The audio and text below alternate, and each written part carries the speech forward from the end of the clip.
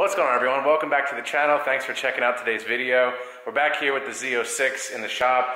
Um, if you watched the previous video, you'll see that we already started disassembling this motor so that we can pull the heads and get them fixed. And in the process, I also realized that this is a remanufactured motor.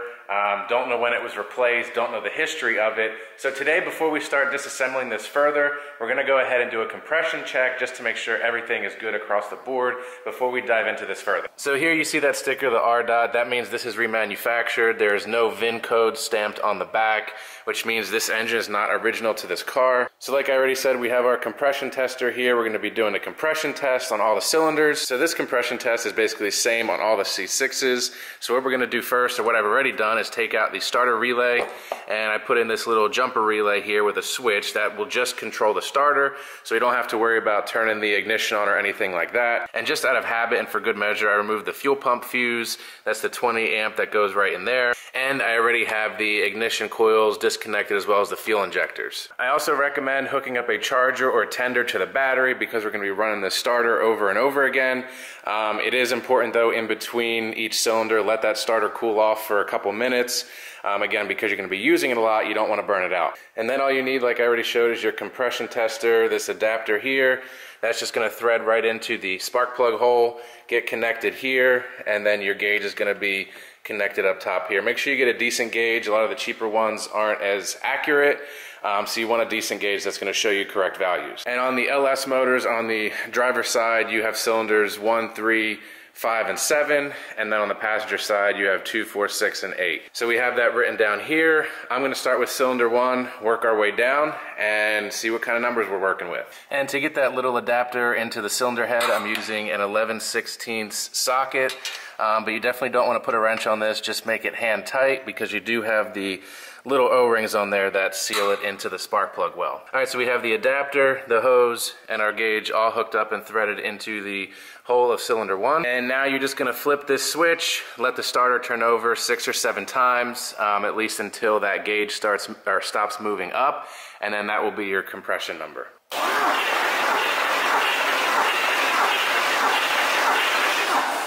All right, so we're done testing cylinder one. We got 220 PSI. So now we're done cylinder one, we're gonna swap the tester over to three and repeat the process.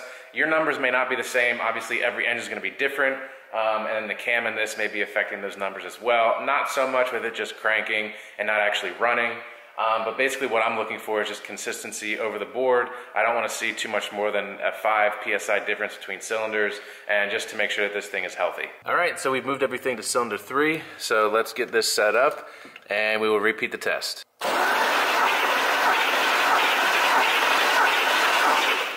Right, so at cylinder three, we are right at about 220 again. I should have written this a little bit different so I could match the cylinders, but anyway, make sure you write down your values in the correct spot. Now we're just gonna continue down the line. Next, go to cylinder five and just keep repeating everything until we're finished. And now that you guys get the idea, hooking it up to each cylinder and bumping the starter with the jumper relay, I'm gonna go ahead and do the passenger side and we'll take a look at the results. All right guys, so we're finished with the compression test and these are the results. Um, pretty darn consistent across the board.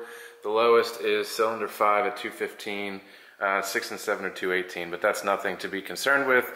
So basically everything is within 5 psi. And that's basically what I was looking for, just to make sure there was no uh, large discrepancy between the cylinders um, and at 5 psi difference, uh, that is negligible. You're going to get different readings in pretty much all your cylinders.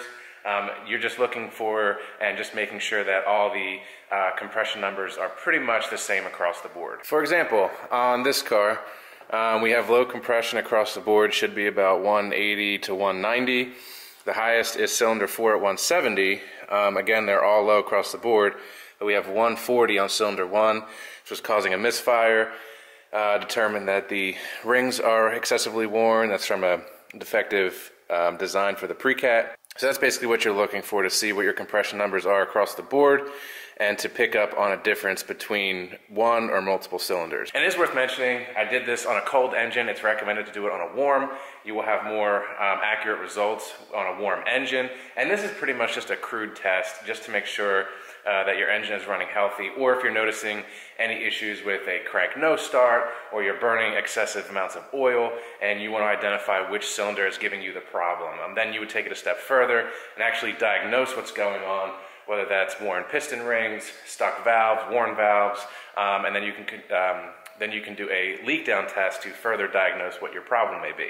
I just did this test because I have everything apart and I'm starting to break this down even further and I just wanted an idea of how healthy this motor is just to make sure everything is good across the board because like I said, it's a remanufactured engine. I don't know how many miles are on it, when it was replaced, so I just kind of wanted a baseline. So this is a good video to follow if you um, are having a problem with your engine or just want to do a compression test to make sure everything is running smoothly. So now that that checks out, we can start removing everything off the top of the engine, um, intake manifold, some accessory components there. Then we can pull valve covers, get rid of the rockers and push rods, and get ready to pull these heads off. So thanks for checking out this video. This process will apply and work for all C6 Corvettes. Obviously, the compression numbers are gonna be different depending on your motor, um, so make sure to look those up, just see what you're looking for. And again, this is just a basic test to make sure that your cylinders are compressing about the same. Um, it's nothing definitive, it's nothing that's gonna pinpoint exactly what's wrong or, or, or tell you that everything is in fact healthy, but it does give you um, some indication of your base engine and obviously how the compression is. So thanks for checking out this video. If you enjoyed it or if it helped you, please give it a thumbs up. Consider subscribing to the channel. And I'm gonna get back to taking this thing apart, so stay tuned for that. And uh, we can just see what's going on here, get these heads out, get it fixed, and get this thing back on the road. I hope everyone enjoys the rest of your day, and I'll see you next time.